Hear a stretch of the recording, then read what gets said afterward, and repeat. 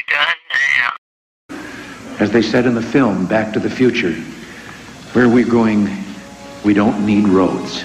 Oh, Brad, what have you done now?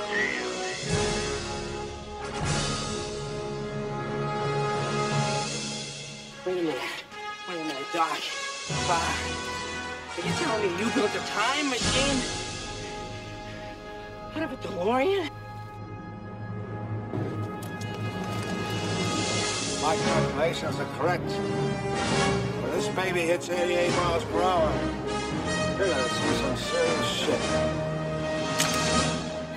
Next Saturday night, we're sending you back to the future.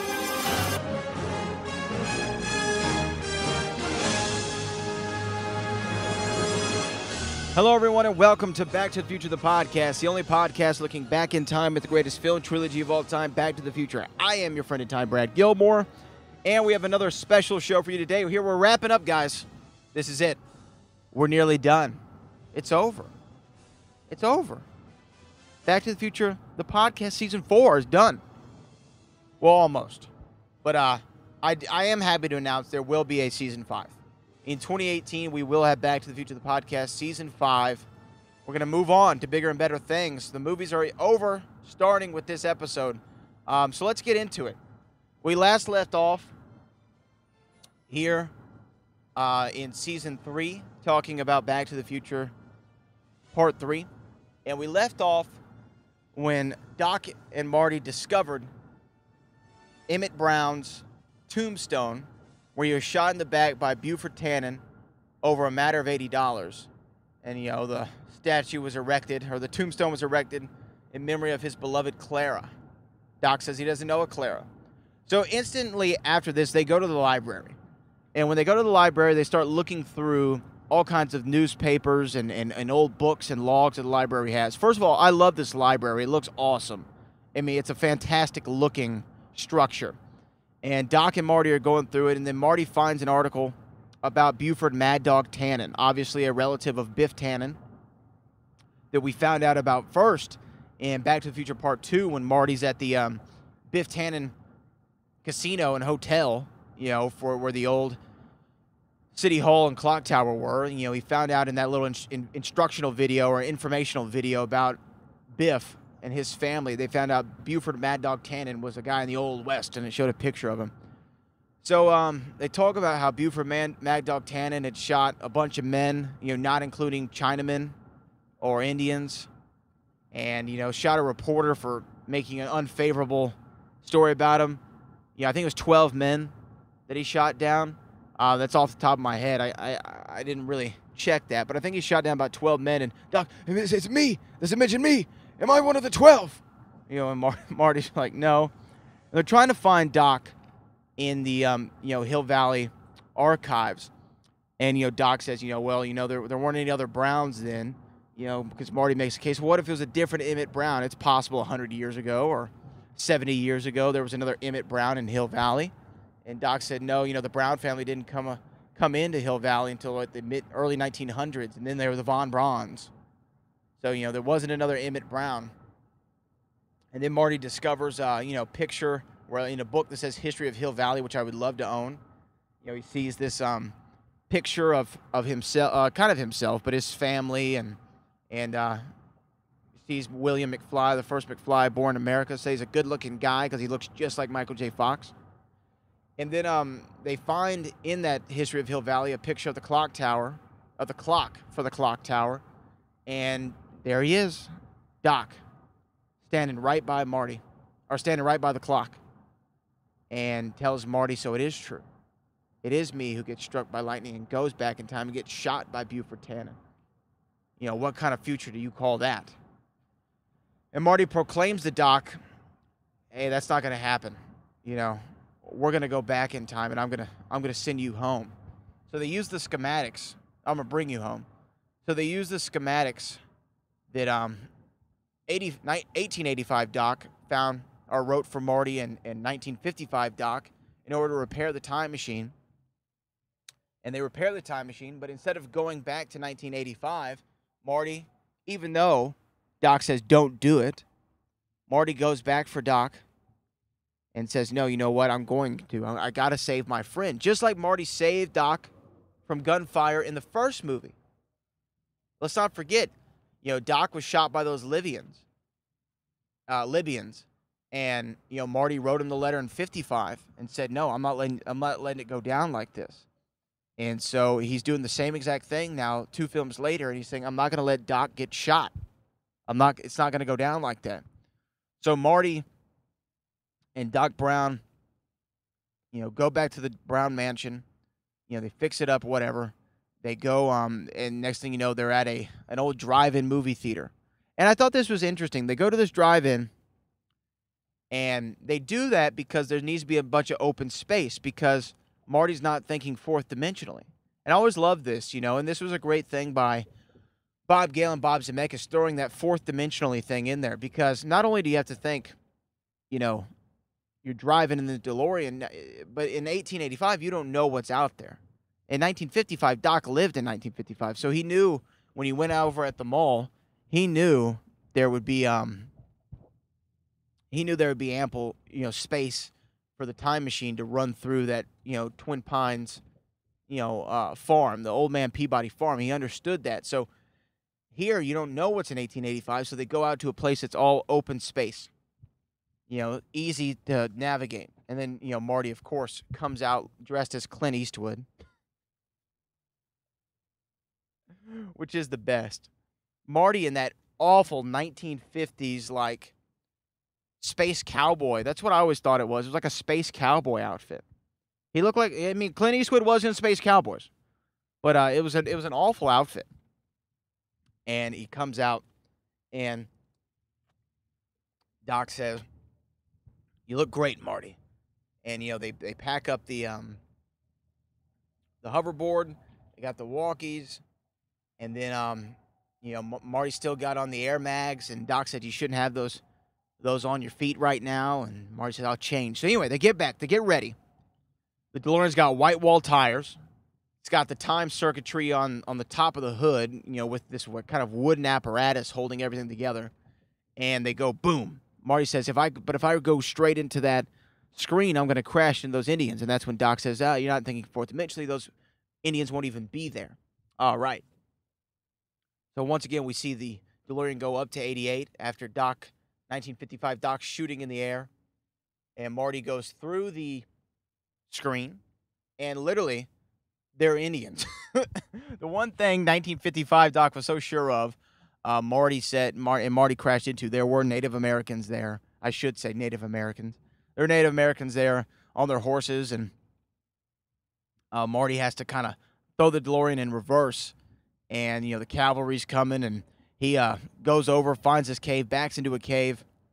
He's safe and sound, and you know I, we all know what happens. He's got the arrow that's stuck in the fuel line, and the bear chases him off from the DeLorean, and he ends up falling over this hill hitting his head on a on a fence, and he wakes up and he meets uh, Maggie McFly. Maggie and Seamus McFly. That's an awful Irish accent. And uh, you know, meets them and meets William McFly, first McFly born in America. Seamus feels connected with Marty. I gotta say, Lea Thompson's got a good Irish accent, and people give uh, Michael J. Fox crap for his you know, his uh, Irish accent, but I thought it was decent. I mean, I'm no Irish, you know, that'd be Davy Boy Mitch former uh, co-host on this podcast. You could ask him about his Irish accent if, if Michael J. Fox was up to snuff. But I thought it was pretty good. You know, I have a lot of Irish relatives, and I I thought it was pretty good. So um, they uh end up eating you know whatever he shot. He shot food. It was a rabbit or whatnot, and drinking that awful, dirty, disgusting water. And you know, he says, uh, Seamus says, I'm going to take you to the terrain tracks or show you where town is. I'll give you a hat. And um, Maggie th- Maggie thinks for some reason Marty's going to put a curse on the house. And I never understood that logic. I guess that was like the old West mentality. You know, I mean, it wasn't too far before that. You had the Salem witch trials, so maybe they thought there was witchcraft and it's awfully bad luck to bring a. In the Irish are about their luck. Let's not forget, you know, Irish are about their luck, and I guess they didn't want to bring any any bad juju on the house by letting a unknown stranger in, even though Maggie McFly should have thought this stranger was a handsome devil because he she looks he looks just like her husband. regardless. I never understood that. Never got it. Um, but you know, they go into town, and then I think that shot when Marty gets into Hill Valley, and there's that over, you know, crane shot where you see Hill Valley, you go over the top of it, and you see it's just this old town. I mean, it's still trying to figure it out. We're we're just in the midst, you know, in the 1880s, late 1880s, into the early 1900s was when that industrial revolution really started happening. But the steam powered train was pretty cool, and uh, but many people still on horseback, old school mentality. It's not we're not fully there yet, and you see just like all these like little little places. You see the you know sheriff's quarters. You see you know um you know the butcher. You see the um, all kinds of little things. The bathhouse it looks like or something like that, and Finally, Marty goes into a saloon, which is a, which is a good idea. I mean, everybody in the late 1800s, if you're a if you're any kind of gentleman, you're probably going to go in there and get a, a beverage. So it was a good idea for Marty to go in there and try to figure out where Doc is because you know this is not the Hill Valley he knows. I mean, even 55 when he goes to 55 and tries to find Doc, he doesn't know really where Riverside Drive is and where Doc Brown was, and it's just another um overarching theme in the Back to the Future trilogy where Marty's tr- constantly trying to find Doc. Where is Doc? Even when in uh, Back to the Future Part 2, when they're in the alternate 1985, he's trying to find Doc. He finds out, you know, Doc's been committed or whatever, and I guess Doc finds him. Um, but so many crazy things, uh, you know, in, in, in 85A, but I'm off topic. So Marty's trying to find Doc. He goes into the bar, finds him, try to find him asked the bartender, "Have you seen uh, Emmett Brown?" And then um, before he could even really say anything, "Hey McFly, I thought I never told you to come in here."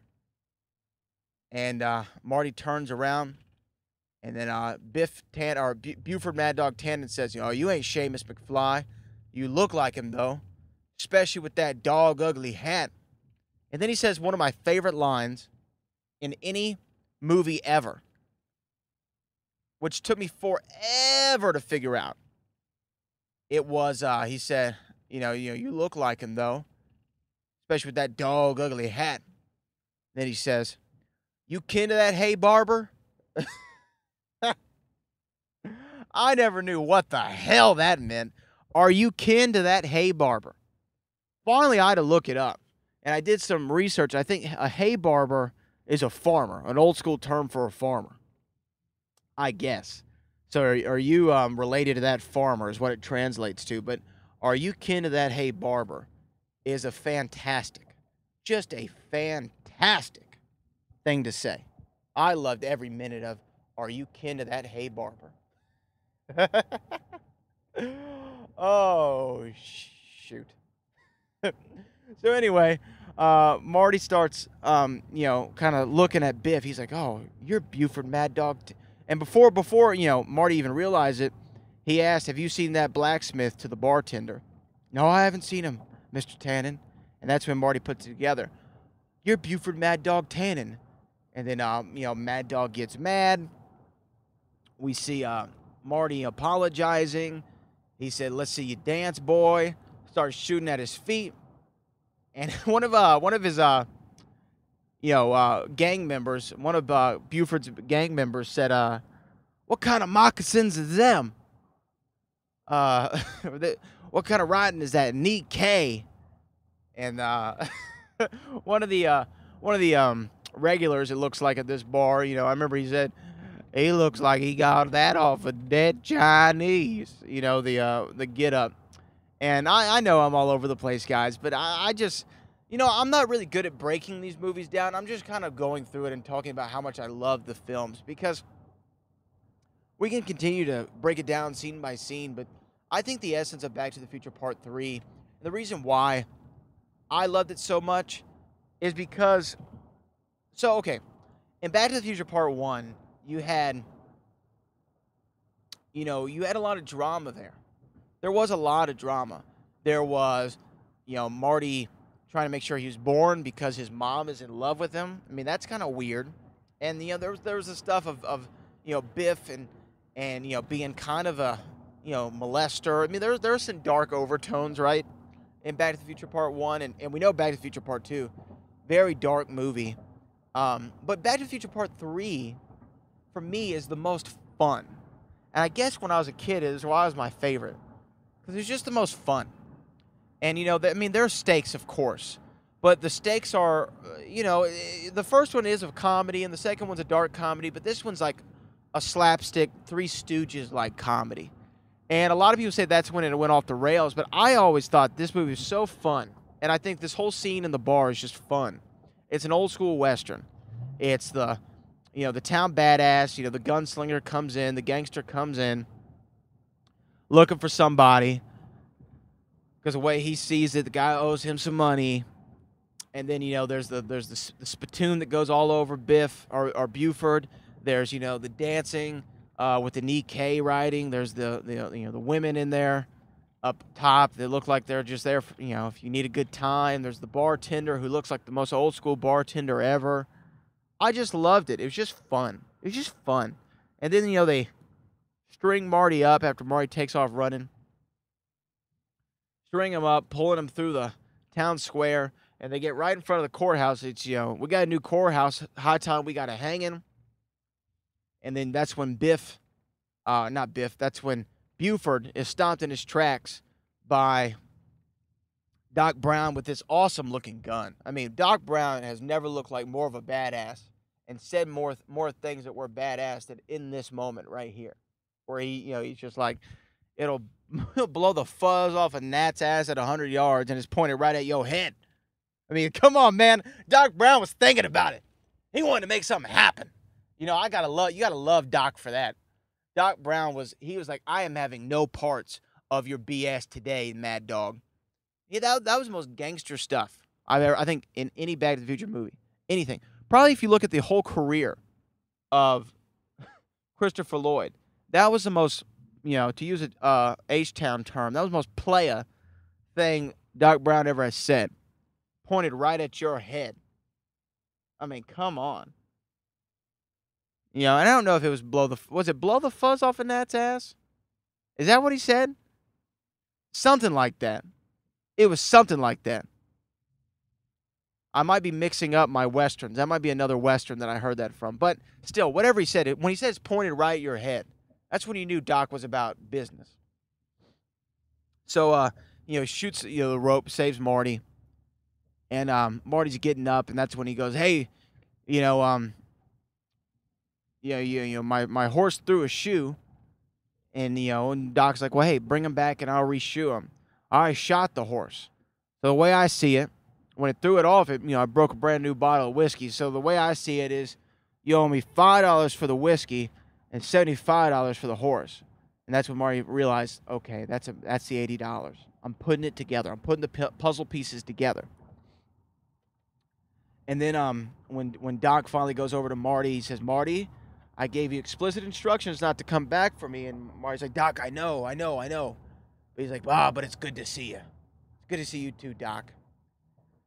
And then um, they get back to Doc's blacksmith, you know, quarters, and you know they're talking, and you see this awesome refrigerator, which was so cool.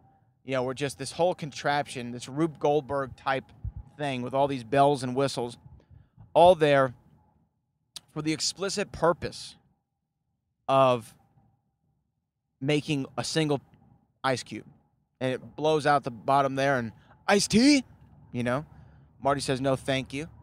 And um you know, he's telling you know, he's telling Doc like, "Hey man, you know, you know, uh who's you know, we got to get you out of here, you know. You're going to get shot. You know, that's this Monday. The 7th, that's this Monday." And you know, and Doc's like, "Well, I got to get out of here." And and then Marty starts asking about Clara. And you know, Doc's like, I don't know any Clara. And Marty's like, Well, maybe you meet her and you fall in love at first sight. And you know, Doc's like, Oh no, that's not possible. And they go through the whole thing and turns out, you know, hey, Clara's a school teacher. The doc said he'd help out whenever she got into town. And the idea though of him falling in um falling in love, you know, at first sight, that's preposterous. And he wouldn't do that because he's a scientist and he can't he could screw up future events. And Marty's like, hey man, it's just it just happens, man. It's just like lightning, getting struck by lightning. And Doc's like, Marty, please don't say that. so that was a great joke. And um, then he's like, hey, well, you know, I can never fall in love with her if I never meet her. Marty's like, hey, you're right, Doc. And he's like, let's get out of here. And Doc's like, hey, uh, Doc, there's only one problem. You know, I ripped a fuel line, got hit by an arrow, ripped a fuel line. So we need to get some gasoline before we get out of here. And Doc's eyes get wide. And he's like, "Uh, you mean the, you don't have any gasoline? And then Marty's like, no, yeah, but you, you're Mr. Fusion. Oh, the Mr. Fusion powers the time circuits and the flux capacitor, but the car itself is always run on regular gasoline, always has. There's not going to be a gas station around here until the early 19th, you know, was it early 20th century? And then they start thinking, oh crap, what are we going to do? And then you see them trying all kinds of things. And, you know, bartender says the strongest stuff they got. And, uh, you know, they blow it off. And Doc's like, oh, that's going to take a month to fix. I guess it was some kind of machinery. I don't know if it was a carburetor or whatever. I'm not the biggest car guy in the world. I don't know really what blew it out. I don't know what, even why they thought alcohol would help, you know, start a car engine. But I guess it's, hey, they were, they were trying. They were desperate. They were trying. So uh, Marty and Doc are trying to think about it, and I and I love this. I love you know, Doc's the scientist. Doc's the the guy who made time travel possible, but he's still brainstorming with Marty, who's a high school kid, a senior in high school. He's still brainstorming with him, and they're trying to figure out the best way to do this. You see them getting pulled by pulled by horses, trying to figure that out. You know, it doesn't get them up high enough. You know, they only got up to what like you know 45 or whatever. Then Doc has this idea. Oh, well, you know, I got it. We'll wait for the lake to freeze over. We'll go down. You know, and, you know, and uh, everybody's like, "W- "Winner, Doc, you get shot on Monday." And then this this was the best one. This is one of the best little scenes here because I think they only had one shot to do this, to line everything up. They wanted to do this where the train comes by in one shot. And so Doc goes, you know, okay, we can't we can't pull it up to 88 miles per hour, but what if we could push it to 88 miles per hour? Huh? And at that very same time, you see that train in the background. Doo, doo, right? And then Doc and Marty kind of go over there. And they figure out, okay, let's see if we can get this train up. And you start talking to the train guy, and he's and I love this guy by the way, this train conductor. And um, Doc's like, oh, me and my friend here have a little wager. Could you get this thing up to 90? Uh, 90? I don't know why in tarnation you ever want to go that fast, but I get the engine hot enough and you ain't pulling no cars behind you, and yeah, I think it's possible you get up to 90. When's the next train come through? 7 o'clock this Monday. So there you go. 7 o'clock this Monday. So, or 7 or 8, whatever time it is. And, you know, so there's already the time limit. Now, we've always talked about how it's funny they have a time machine, but they're always pressed for time. And even there, we gotta we have to have this thing push us up to 88 miles per hour, but it's not getting here to Monday. Monday is when you know, I'm getting shot. Crapola, this might not be so good. Anyway, though, they have the plan. They figure out what they're gonna do. They have the little, uh, whatever you call it, little mo- model that they're gonna build a little bit later. But then, when they go and they look out at the um, end of the bridge, Marty goes, "Well, you can scratch that idea, Doc." And uh, you know that there again, Marty's not thinking fourth dimensionally. He says, "Yeah, I got a real problem with that. When we, you know, go to 88 miles per hour, go into the future, the bridge will already be completed. You know, in 1985. Well, that's why you're the doc, doc." And then they hear the woman yelling. Hear the woman yelling. They look over, and they see this woman's carriage and horses are going crazy. She's flying, flying out of there, and they go to save her. So they run over, they save this woman from going over the, the edge into the ravine, and and uh, she looks up and she, you know, he, she says, "I'm Dr. Brown," and she says, "I'm Clayton, Clara Clayton." And he says, "What a beautiful name." And right there, you see the doc's in love, love at first sight, got struck by lightning. They take her back to um, her quarters. They thank her. I think they're going to fix the telescope, right? You know, he'll, he'll have it repaired for her. You know, he says he's assigned, oh, I'm a blacksmith, and then the, she, you know, they have this love of science together. I don't need to relitigate the whole movie, but I'm just saying, these are my favorite parts. I love this though. I always love like so. I went to a um, my elementary school was Edgar Allan Poe Elementary, and in Houston, Texas. And there's like this dark story about Edgar Allan Poe Elementary, and you'll see where I'm going with this in a second. Like in 1960, this guy came. He wanted to pick up his kid. They wouldn't let him pick up his kid because you know he didn't have him in the divorce, divorce settlement, something like that. So the guy comes back later and has a briefcase with a bomb in it, and he goes off to the playground. He sets this bomb off at my old elementary school. Like I said, 1960s. Sets this bomb off and he kills himself, his kid, another kid, like a teacher and a janitor. So the janitor, right? I, I can't remember his name. Uh, I think it was like Will Rogers or something like that. But we always had this story at Poe. Whenever you'd go into the restrooms, they, they had these big mirrors in there. If you turned the lights off and said this guy's name, you could hear him cleaning up the restroom and then he'd appear in the mirror, right? So it was like this old tale that we would tell. And, you know, to scare people or scare kids we didn't like or whatever, you tell them the story in the restroom and freak them out and shut the door and try to scare them, right? I know it sounds awful, but, you know, you're a kid, you don't know any better. So that was always the story that went around Poe Elementary. Well, I like when Marty tells this story. He tells a story about how, you know, Clayton Ravine, you know, 100 years ago, there was a teacher that fell in the ravine, and all the kids know that story because they all think about the teachers they like to see get thrown in the ravine. And it was called Shonash Ravine, you know, that Doc pointed out earlier. He looked at the map. Shonash Ravine must be the old Indian name for it. Hmm, whatever. You know, and uh, but all the time you actually see Claire in the background. Little Easter egg there. But go fast forward. You know, he goes, oh, that's why it's called Clayton Ravine 100 years ago. And Doc goes, 100 years ago? That was this year. Oh, what have I done? You know, I may have destroyed the f- space-time continuum. And Marty goes, oh, so what's the worst that could happen? The ravine doesn't get named after or whatever, you know? And so Doc goes, oh, you're right, but this is just another reason I need to destroy that infernal machine. So they um they go back, they have their plan, and then they're ready um, to go to this dance. You know, um, Clara Clayton invites them to the uh, what is it, the town the town um, parade or festival or whatever it is, the Hill Valley Town Festival, whatever it is. And um, she goes, "You are attending, aren't you? Oh, yes, we will be there." You know. And they go to the um, they go to go to the uh, town hall festival. I don't know what to call that. I can't remember what it's called. And uh, they get into some more drama, some more stuff going on, and that's something we're going to talk about in the season finale of Back to the Future the podcast here on Back to the Future the podcast season 4. I'm your friend in time I'm your friend in time Brad Gilmore and I will see you in the future.